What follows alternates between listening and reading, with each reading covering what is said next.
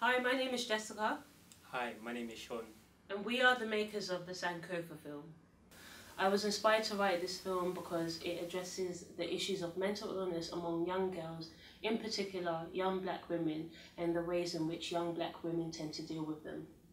It's a story set in London where a young black woman named Amara suffers with mental illness and is then led on a journey of self discovery and restoration.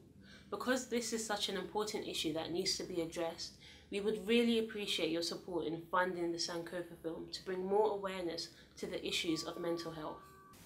Not only will your support go into the making of the production, but it will encourage this message of positivity to viewers who may battle with mental health issues. For this film, I have managed to assemble a dedicated and eager production team with talented individuals. We would much appreciate your support so we can invest in the highest production equipment and production resources that include the best camera, lighting, sound recording equipment for the film.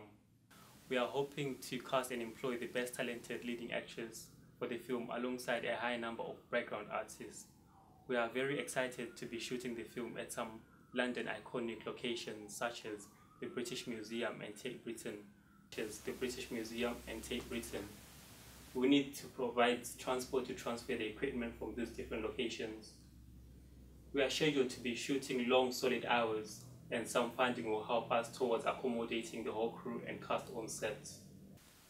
In return of your kind donations, not only will you be part of this great journey, but you will receive some of the great rewards like a film poster, a special thank you in the credits, a DVD of the film, or you could even be a major sponsor for this project.